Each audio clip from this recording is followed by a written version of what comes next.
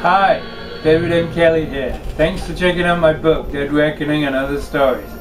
I'm proud to support your event at Spangdahlem Airbase, and I hope everyone is having a fantastic time. I wish I could be there in person to meet everybody, but unfortunately I can't. Special thanks to Jared and Caitlin, and also Keith and the boys from Vorpal Comic for introducing me. Have a great time.